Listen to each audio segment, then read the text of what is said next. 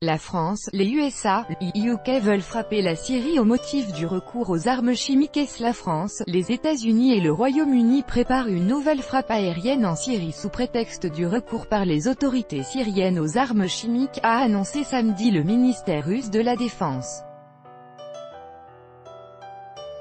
La France, conjointement avec les États-Unis et le Royaume-Uni, envisage un bombardement en Syrie au motif de l'utilisation par Damas d'armes chimiques, a déclaré le porte-parole du ministère russe de la Défense Igor Konatchenkov. La mise en œuvre avec la participation active des services secrets britanniques de cette provocation devrait également devenir le prétexte d'une frappe aérienne par les États-Unis, le Royaume-Uni et la France contre des sites économiques et d'État en Syrie, a-t-il averti.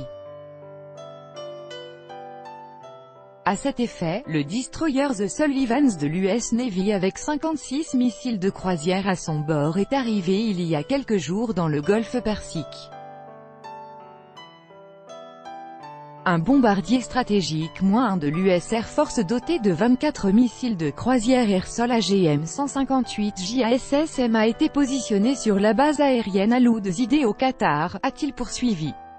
Monsieur Konatchenkov a également précisé que les déclarations infondées des hauts représentants des États-Unis, du Royaume-Uni et de la France du 22 août affirmant leur intention de répondre, dans les termes les plus fermes, à l'utilisation d'armes chimiques par le gouvernement syrien, étaient les confirmations indirectes de la préparation par ces pays d'une nouvelle agression contre la Syrie.